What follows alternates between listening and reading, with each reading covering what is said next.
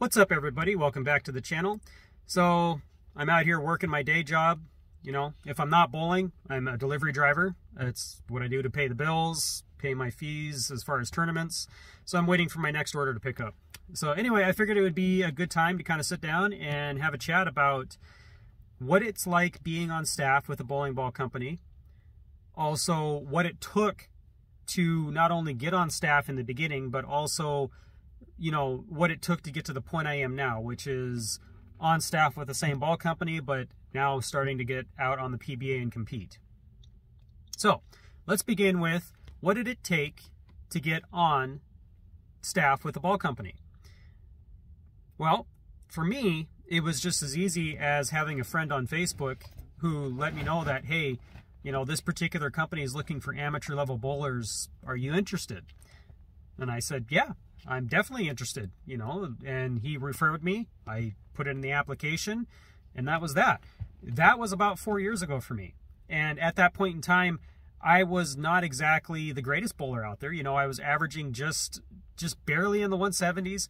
I had shot a 300. You know, I was one of those bowlers who, you know, I I shot my first 300 when my average was actually quite low, which shocked me shocked everyone around me too, I'm sure. But, you know, and I hadn't quite decided if I was going to keep with the two-handed game or, you know, try and improve my one-handed game. I was kind of in that middle section there. So anyway, I got the application turned in and it was up to the bowling ball company at that point, California Bowling, to accept or deny. And to my shock and surprise, they accepted the application and they offered me a introductory contract, which basically meant, you know, hey, buy a couple bowling balls, try them out, see how they feel. If you like it, we'll move you into an area contract. And so I did. I bought two Terminator Armageddon symmetrical solid balls, which you know are were some of the older bowling uh, balls from the company, and drilled them up, tried them out, found out that they were actually fairly decent for me. So I, I liked what I saw, and I was like, okay, let's take this further and see where it goes. Now, keep in mind, at this point in time, I had no idea what the future was going to look like. You know, I, I knew that I wanted to get myself out there on the PBA and start competing at the PBA level, but I didn't quite understand what it was going to take to get there and just how much work it was going to take to get there. And also, you know, I didn't understand whether or not that would be with California Bowling or some other bowling company in the future. Because at this point in time of signing that first contract, California Bowling did not have a PBA certification. You know, uh, the company was originally Lane Masters back in the early 2000s. They had some financial backing back then, and at that point in time, they were PBA certified. But due to circumstances beyond their control, you know, uh, the biggest thing being that the main financial backer for the company unfortunately passed away, they couldn't maintain their PBA certification. So they stayed in business and just dropped the PBA certification and you know, kept releasing balls that were USBC certified, you know, more advertised towards the amateur league bowlers. So anyway, I signed the area contract, um, and I looked at it as basically an opportunity for me to grow myself as a bowler on top of helping this company, California Bowling, grow their three brands. Those three bands, those three brands being Lane Masters, Lordfield, and of course our most popular brand these days, Swag. So there I was four years ago, got a new area contract with California Bowling, and now the question was, what do we do from here?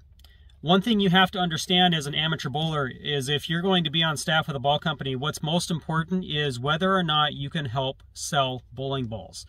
You know, it's a company, it's a business. In the end, they're looking at their end of the month, their end of the year, and whether or not they're in the green or in the red and they're also looking at wanting to expand, right? So you have to be somewhat of a salesperson if you want to be on staff with a ball company. That's just the nature of it. You know, it's not just bowling, it's selling, you know, selling bowling balls, selling bowling equipment, bowling shoes if the company in particular sells that stuff, bowling jerseys, that kind of stuff. There's a lot of promoting that happens, a lot of direct selling, a lot of indirect selling. So that is a large part of being on staff with a ball company that I think a lot of amateur level bowlers just don't quite understand.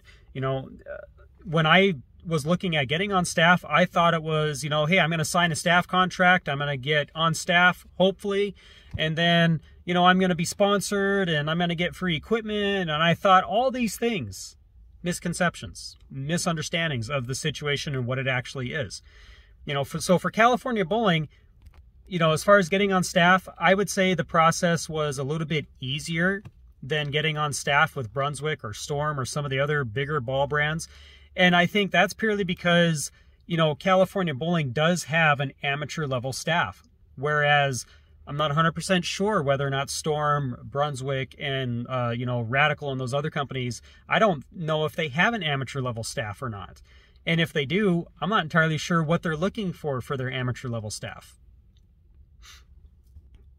You know, for them, I'm pretty sure what they're looking at is okay, is this person associated or affiliated with a pro shop?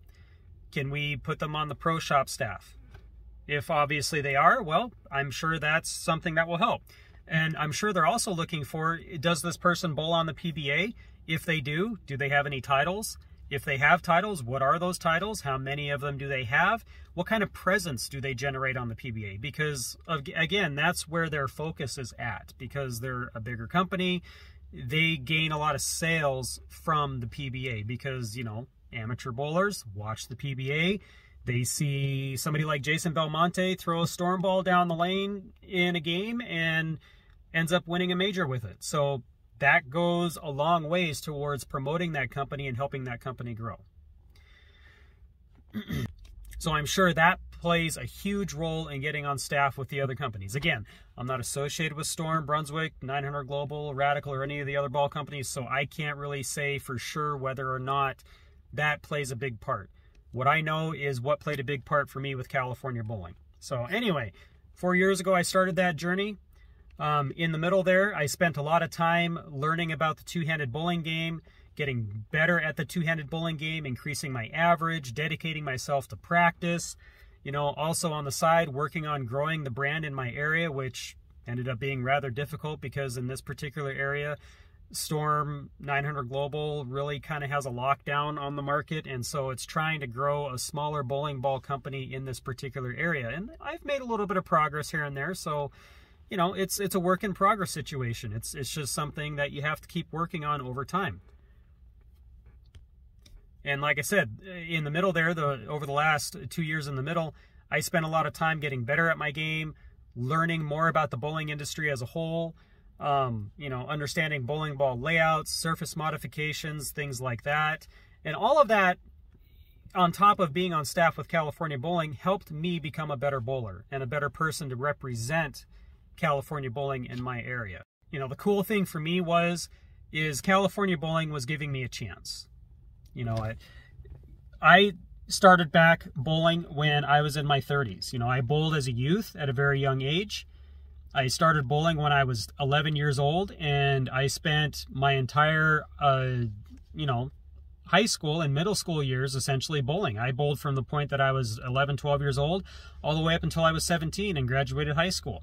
Um, you know, and then I quit bowling because I went on and focused on other things. You know, went to college, got married, had kids, all that stuff, and didn't end up coming back to bowling until I ended up turning 30. So, you know, at that point, California Bowling was willing to give me the opportunity to grow myself as a bowler by helping me out with my equipment. You know, when you're on staff with a ball company, you do get discounts on equipment. You don't get free equipment. You know, I want to squash that uh, particular misconception right here. I mean, the basically the way it works, at least with California Bowling, is the higher level of staff you get, the cheaper the equipment gets. So it's basically incentive based, more or less.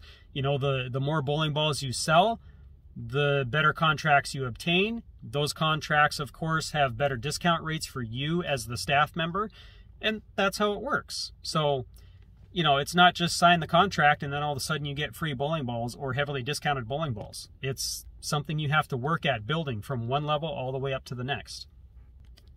So let's fast forward. You know, it's been four years.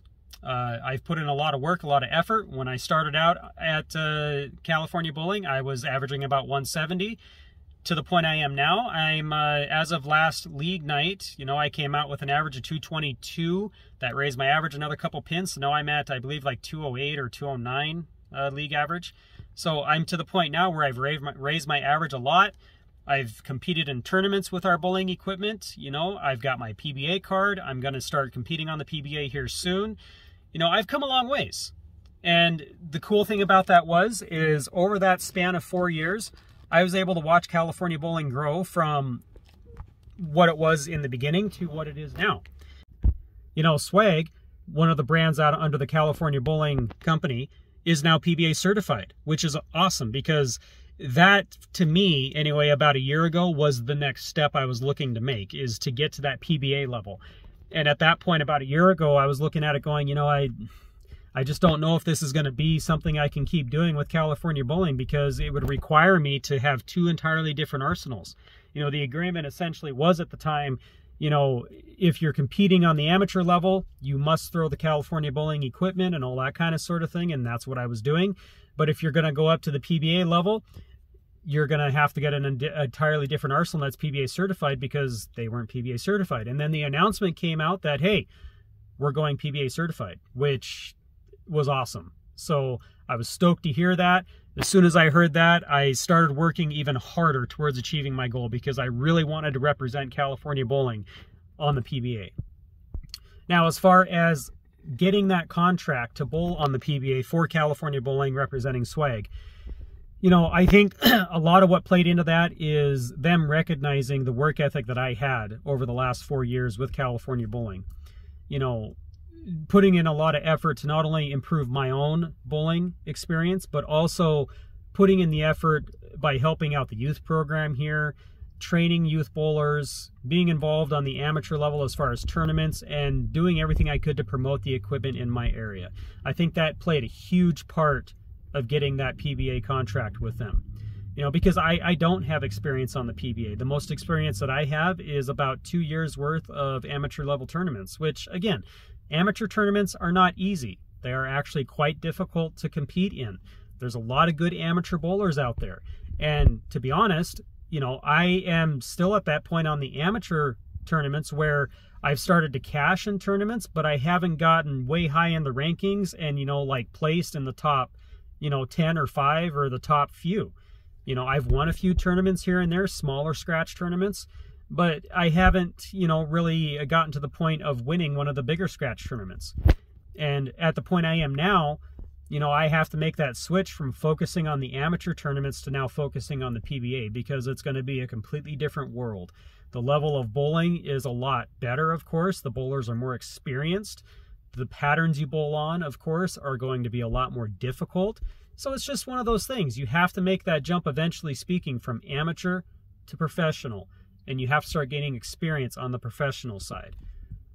You know, as far as should you wait until you start cashing in those events on a common basis and maybe winning tournaments consistently on the amateur level?